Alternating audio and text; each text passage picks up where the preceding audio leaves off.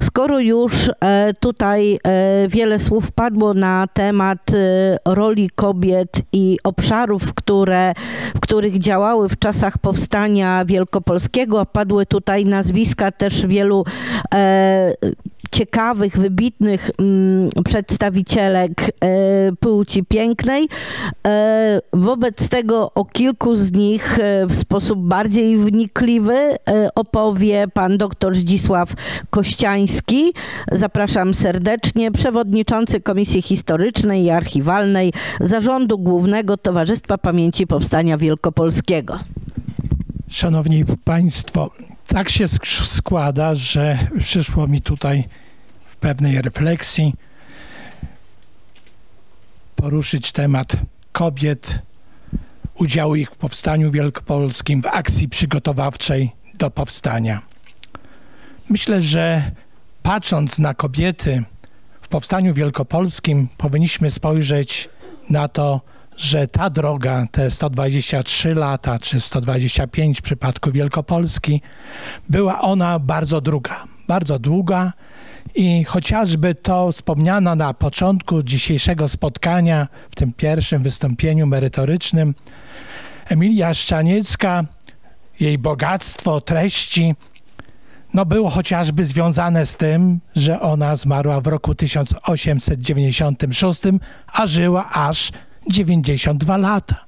I była to kobieta, która poprzez swoje uczestnictwo nie walczyła z bronią, jak Emilia Plater, ale miała inne zasługi, chociażby to, że brała udział w sanitariacie w powstaniu listopadowym w roku 1848 czy w roku 1863 cały czas poświęcała swe życie, młode, potem późniejsze, na to, żeby oddawać wszystko, co miała, na pożytek Polski.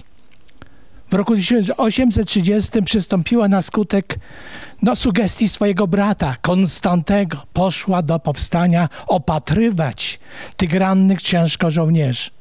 Potem wielokrotnie musiała łożyć pieniądze na tych, którzy byli internowani, chociażby ci Wielkopolanie, którzy wracili tutaj do zaboru pruskiego, szli do więzienia. Ona zbierała na to pieniądze. Miała na celu dobro. Oczywiście w tym dobrze były i minusy, chociażby jej brata, który stracił przez gry w karciane majątek w Wąsowie, ale ona w swoim pakosławiu tkwiła w tej polskości, tej wielkości, można powiedzieć, sprawy polskiej.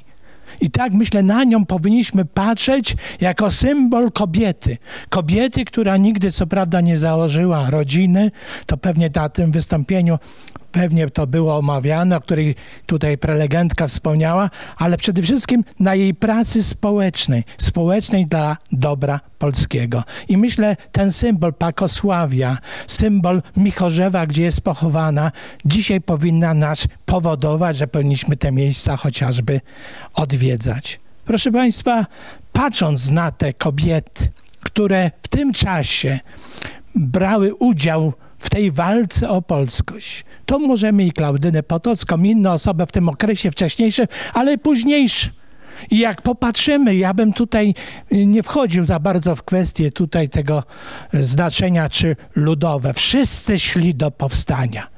Szli od szlachty, magneterii, aż pod prostego człowieka. Oczywiście był i element rewolucyjny, ale przede wszystkim kobiety, które wtedy były, to były tymi właśnie matkami. Matkami, które powodowały, że ich dzieci szły do powstania.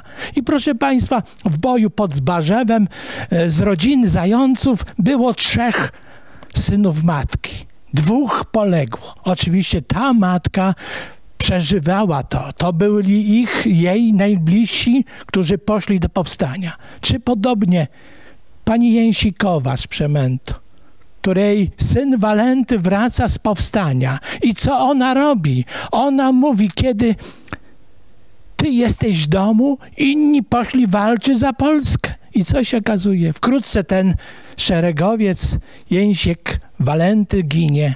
I ona wtedy na pogrzebie mówi do dowódcy, do pułkownika późniejszego Stanisława Siudy, że dumna jestem, że mogłam oddać ojczyźnie co miałam najdroższego? To była kobieta z tamtych czasów, matka, która powodowała, że dzieci szły do powstania, a wcześniej, że uczyły się po polsku.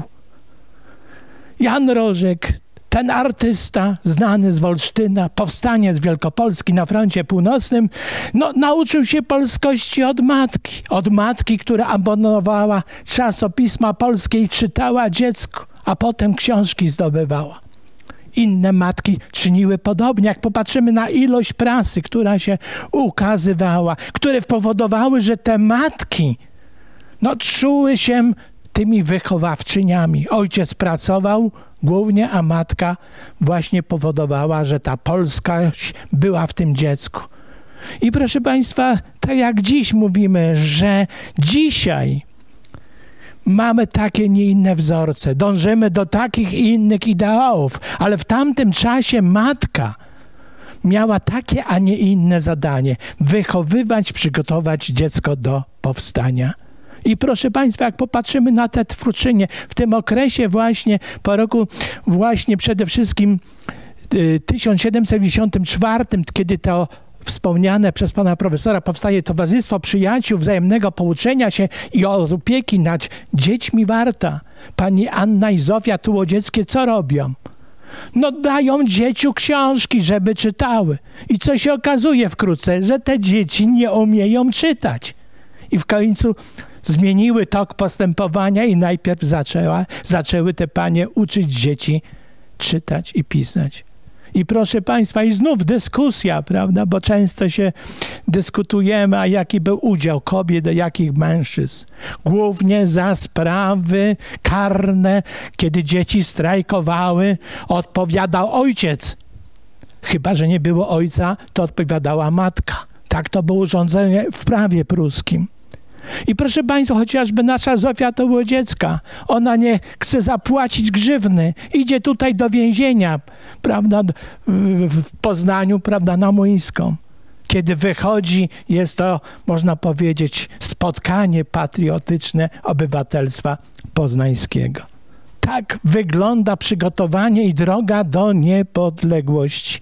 Proszę Państwa, patrząc na te postacie, które powodowały, że to powstanie mogło istnieć, mogło funkcjonować, to musimy spojrzeć na kobiety właśnie bardzo szeroko. Szeroko popatrzeć chociażby przez ten pryzmat właśnie ich uczestnictwa. I mamy znów osoby wielkie z tej sfery górnej, jak chociażby Zofia Sokolnicka, tak, można powiedzieć, na tamte czasy ona była jakby światowym politykiem. Ona jeździła najpierw do Lozanny, a kiedy powstaje tutaj Komitet Polski Narodowy w Paryżu, jako przedstawicielka Naczelnej Rady Ludowej, tam jeździła i mówiła, czym jest ta Rzeczypospolita, czym jest prawa polska. A potem zajmuje się sprawami edukacji. Proszę Państwa, a tu jednocześnie mamy też te inne osoby pokazane na tych prelekcjach. Te wywiadowczynie, które wsiadały w pociąg, który funkcjonował, mimo i że toczyła się wojna, miała się toczyć wojna między powstaniem a państwem niemieckim, jechały w celach wywiadowczych, dowiedzieć się, jak pani Gmerkowa chociażby, w Zbąszyniu, czy będzie, jakie tam będą siły. To była ta rola tych kobiet. A z drugiej strony rola spowodowana tym, że te kobiety, proszę Państwa, one w jakiś sposób, możemy powiedzieć, no, były tymi, które przygotowywały chociażby to jedzenie. I różne były panie. W dawnych czasach tych zaborczych jeszcze ta kobieta, ta, która była w dworze, miała za zadanie nauczenia gospodarowania nie tylko swoich podwładnych, ale tych, którzy mieszkali we wsi. Były kursy specjalnie urządza, urządzane. Oczywiście nie wszystkie panie miały tego ducha, ale duża ich część ku temu szła. I dzięki temu, proszę Państwa, już w październiku 1910 roku powstało Towarzystwo Ziemianek Wielkopolski i Pomorza, które to miało na celu. Spójrzmy na taką osobę jak właśnie Wanda Niegoleska. Proszę Państwa, Tu w okolicach dzisiejszej gminy Bóg, gminy Opalenica były dobra, gdzie kobiety właśnie wcześniej się przygotowywały do tej roli, a kiedy wybucha powstanie, przygotowują chleb ze smalcem, mleko, zupy, i to wszystko jedzie na front. A ona, jako starsza już pani, bo była roczniku 1877, proszę Państwa, no jest czynna cały czas wokół tego, a jeszcze wspólnie z doktorem Wróblewskim tworzy szpital frontowy w Buku. Wielka rola kobiet. Kobiet na każdym posterunku i tym największym, tym najmniejszym. Jakże je podzielić? Oczywiście, proszę Państwa, te osoby, o których my mówimy, te, które współtworzą te oddziały. Tutaj była wspomniana chociażby i pani Maria Kurnatowska z Gościeszyna, która wykrada, wykrada broń, broń przewozi, formu, dla formującego działu tworzy, tworzy zaplecze. Proszę Państwa, tych kobiet jest bardzo dużo. Aleksandra Bukowiecka, żona pułkownika, późniejszego generała, tworzy oddział powstańczy w okolicach Lubinia, który wspomagał oddział y, w Krzywiniu. Potem 1939 roku aresztowana i traci tutaj życie w Forcie VII. Proszę Państwa, mamy wiele takich postaci. Ale oczywiście powiemy, no tak, ale przecież na froncie wśród tych poległych, gdzie są kobiety? Walczyli głównie mężczyźni. To był taki czas tych panów, którzy w większości mieli wąsy zakręcane, bo takie była moda wielkiej wojny. Przyszli i teraz ruszyli do powstania. Poszli, poszli do powstania, bo tak żona kazała, tak kazała kochanka, prawda? Kiedy przyszła chwila słabości, często się, proszę Państwa, działo, że oni podupadali na duchu. Ale proszę Państwa, ale wtedy takie słowa, jak chociażby w Łomnicy wypowiedziane przez dowódcę do swoich żołnierzy. Co powiecie waszym żonom, waszym kochankom, jeżeli wy chcecie iść z frontu do domu? Ja zostaję. A czy wy zostajecie? Nikt nie wystąpił, wszyscy zostali. Proszę Państwa, wielka rola właśnie kobiet. Kobiet, które musiały przyjmować tych poległych, kobiet, tych, które musiały gospodarować, kobiet, które jak chociażby Weronika Zewol, to o niej już w roku 1938 mówił znawca kompanii wielichowskiej, słynny dowódca, który napisał wspaniałe wspomnienia, ale sam stwierdził, że nie napisał o roli kobiet. I on między innymi tam wspomina Weronikę. Weronika jest starego Jaromierza, która ma trzy córki. Ta pośrodku to jest Ania. Ania już w maju 1919, czyli nim utworzy się już regularna granica w 20 roku, w styczniu, przeprowadza tutaj przez front doktora Lutemana, który chce przejść na stronę polską. Doktor Luteman potem będzie doktorem w Krobi. I w trakcie przeprowadzania zostaje ranna, umiera na polu walki. Pochowana w kopanicy, jak kiedyś będziecie. Proszę Państwa, Dora Mokułowska. Jej ojciec tak gospodarzył, że majątek w Kowalewie stracił, tak? komisja kolonizacyjna kupiła, tak, okazało się, że ona miała całkiem innego ducha, ducha patriotycznego. Mówiliśmy tutaj, były pokazywane zdjęcia sali Sejmu Dzielnicowego ten wystrój, który został tam zrobiony, to właśnie dzięki Dorze Mukołowskiej. Ten sztandar drugiego pułku ułanów, późniejszego szesnastego pułku ułanów wielkopolskich, to jest jej autorstwa. To ona zgromadziła te ziemianki, żeby pokazać polskość, polskość tamtego czasu. Ich było bardzo dużo. I znów jak popatrzymy na te kobiety, czy one były wielkie, czy słabe, Izabela Drwęska chociażby, o której pisał między innymi profesor Grzegorz Łukomski, ale nie tylko. Później okazały się inne publikacje, między innymi profesora Waldemara Łazugi. Ta Izabela, kiedy jest powstanie, przed powstaniem już tworzy ognisko, te, gdzie można się najeść na dworcu. Potem tworzy inne punkty, gdzie można się najeść w Poznaniu. Potem tworzy PCK i twórczyni tego wszystkiego. Ale kiedy umiera jej mąż w 22 roku, troszeczkę wycofuje się z pola walki. Proszę Państwa, jakże wspaniałe, piękne postaci. Albo ta Maria Chełkowska z Donimirskich, matka sześciorga dzieci, tak? No, ta pani, proszę Państwa, no, twórczyni Towarzystwa Apollo, tak, przedstawicielka ziemiaństwa, zamiast przygotowywać się do wieczerzy wielgi, wielgi, wigilijnej, jedzie na Pomorze, bo co? Bo okazuje się, ma przyjechać armia generała Halera. Takie myśli, tak. Ona jedzie, nie przypływa armia generała Halera, ona troszeczkę później przypłynie, nie przypłynie, tylko przyjedzie. Tak? Ale proszę Państwa, przyjeżdża Ignacy Jan Paderewski. To ona wraz z nim jedzie tutaj do Poznania. To ona tutaj, kiedy padają szczały, te pierwsze szczały, powoduje, tak, że mistrz się przenosi do jej pokoju, bo tam strzały nie są tak groźne.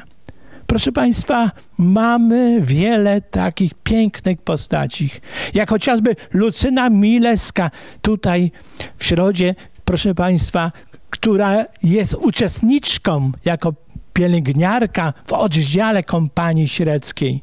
Ale potem, proszę Państwa, same te problemy związane z życiem, zdrowiem powodują chorobę płuc i umiera w roku 1920. Proszę Państwa, mamy szereg innych takich kobiet, kobiet, które są takimi pewnymi symbolami, bo Rosalia chociażby Nogaj Dwanaścioro dzieci i te dzieci już przed powstaniem mają tego ducha, że strajkują. Strajkują, a ona idzie tak do więzienia, bo nie ma tego, który mógłby z linii męskiej ją zastąpić. Proszę Państwa, kobieta, można powiedzieć, tamtego czasu pełni bardzo ważną rolę. Często taką, yy, można powiedzieć, jak chociażby te panie, które brały tutaj udział w Sejmie Dzielnicowym, yy, 129, jak mówiliśmy, ale to nie tylko Wielkopolska, Śląsk, tu także Pomorze, także Niemcy, ale proszę Państwa, wśród delegatów 526, 66 kobiet było z Wielkopolski, tych także wspomnianych tutaj y, no, z terenu, terenu frontu grupy Leszno z ziemi leszczyńskiej. Wielka rola kobiet, kobiet, które odgrywają różną rolę. Nie ma tej roli, że biegną kobiety w pierwszym szeregu, giną, ale są te kobiety, które wspomagają, są obecne. Często są dramatyczne sytuacje, jak chociażby sanitariuszki, która bierze udział w powstaniu. Naraz się okazuje, proszę Państwa, okazuje się, że no, grozi to, grozi to aresztowaniem, zabiciem, prawda? Tu pan profesor wspominał pa, pani Klarze e, Ostrowskiej. Ona była po ojcu Łabiszyńskim, może tutaj dlatego ta rozbieżność, tak? Przenosi meldunki, a z drugiej strony, proszę Państwa, okazuje się, ranna została, prawda, no, bliskość frontu powoduje, że została ranna w swoim domu. Ciężko to musiała niestety przeżyć. Proszę Państwa, ja przekazałem tutaj materiały, które mówią o publikacjach i różnych także materiałach. Przede wszystkim Państwa zachęcam, żeby spojrzeć na stronę TVP3 i tam pan profesor wspominał, jest Kobiety w Powstaniu Wielkopolskim. Tak się złożyło, że cykl tak się spodobał, że zrobiono jakby dodatek. I do każdego z filmu, proszę Państwa, wspólnie z panią Grażyną Wrońską i ja y, dodaliśmy taką dyskusję. Sześć odcinków z dyskusją. Każdy był powstańcem. Zachęcam, sześć odcinków. Także w lustrach historii tutaj występowaliśmy w różnych tematach. Między innymi też, proszę Państwa, mamy tutaj o kobietach w Powstaniu Wielkopolskim pani Ania Barłuk-Mitmańska, doktor pa, e, Patrycja Kanafos Kanowocka i ja. Także w ramach IPN-u, proszę Państwa, jest film nakręcony, gdzie mówię o kobietach w powstaniu Wielkopolski. Y, pani Ania tam zamieszcza Baruk Mitmańska swój artykuł. Y, tu pan Eugeniusz Śliwiński mówi o grupie Leszno. Y, pani Ania, tu mamy tam książkę, tą magisterkę jako pierwsza, proszę Państwa, no, w 2008 roku przedstawiła udział kobiet. Ale też mamy pracę bardzo poważną, doktorską, pani Patrycji Kanofockiej, która napisała o Polkach w zaborze pruskim 1793-1918. Dwie przestrzenie edukacyjne, publiczna i prywatna. Proszę Państwa, tam mamy też głównie tą strefę, o której dzisiaj słyszeliśmy w tych pierwszych wypowiedziach związanych z tą emancypacją bardziej rozszerzone. Też tutaj y, pan doktor wspominał wcześniej o pozycji pani Ar, y, Ani Barłuk w tej publikacji pana pod redakcją pana Olafa Bergmana. Chciałbym zauważyć, że to nie jest prawdą, ponieważ jest tam druga jeszcze praca pani Patrycji Kanowockiej, udział Wielkopolanek w inicjatywach niepodległościowych w XIX i na początku XX wieku. Byliśmy tam wspólnie autorami, ja pisałem o duchowieństwie. Proszę Państwa, duchowieństwo i kobiety to są dwie takie strefy. Strefy serca. I myśmy powinni o tych strefach serca w tamtych czasach pamiętać. Gdyby nie było serca, nie byłoby zwycięstwa. Dziękuję serdecznie.